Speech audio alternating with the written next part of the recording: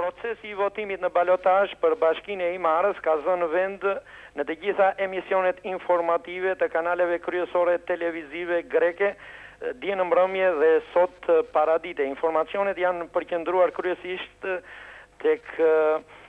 Problemi i bllokimit të trembëdhjetë autobusëve me emigrantë himariotë, të cilët ishin nisur për të marrë pjesë në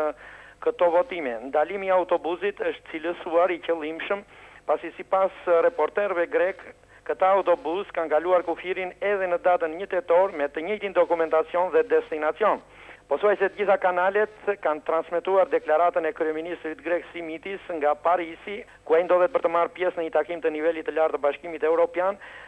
e cila konsiston në atë që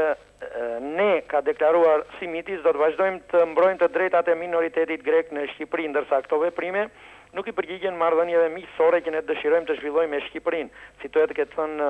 Simitis nga Franca. Ndërkaq, në lidhjet e drejtpërdrejta me Himarën, një kanal televiziv ka transmetuar bisedën telefonike me kryetarin e Omonias, Vangjel Dule, i cili është shprehur vetëm se ekziston rreziku i manipulimit, ndërkaq kandidati i Partisë për të Drejtat e Njeriut në këtë bashki, Vasil Bollano,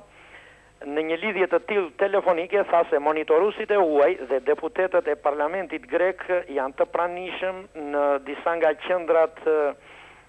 e votimit në Himarë, por që ata nuk mund të jenë gjatë